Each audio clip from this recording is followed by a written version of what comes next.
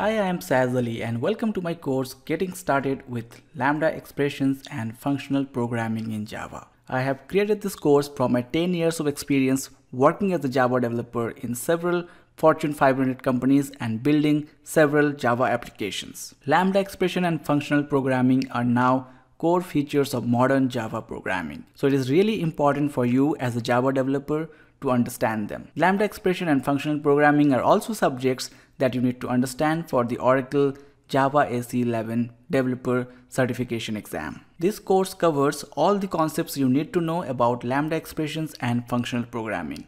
There are plenty of live code lessons where I cover practical problems that you are likely to see in any projects you work on. And that's not all. We also have exercises with solutions to solidify your concepts. By the end of this course, you will have a solid understanding of Lambda expressions and functional interfaces and you will be ready to tackle these topics in the Oracle Java SE 11 Developer Certification exam. So I am super excited to welcome you to this course. I hope you will join me on this journey to learn Lambda expression with the course Getting Started with Lambda Expressions and Functional Programming in Java. Now let's look at the course structure.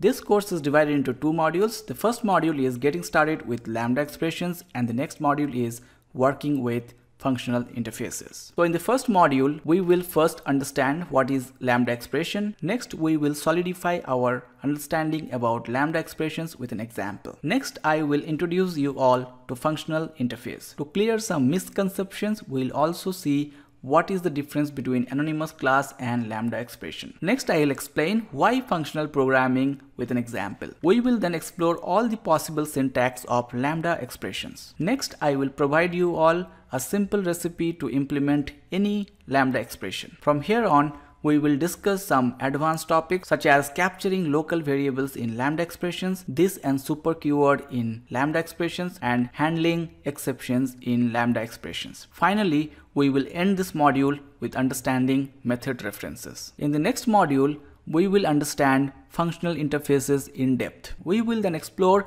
the important standard functional interfaces available in the JDK. Next, we will see some practical use cases of standard functional interfaces. Next, we will understand functional composition. Finally, we'll also look at some specialized functional interfaces. The only prerequisite for this course is you should have a basic knowledge of Java and any IDE for Java programming. So we have plenty to cover. So without further ado, let's get started.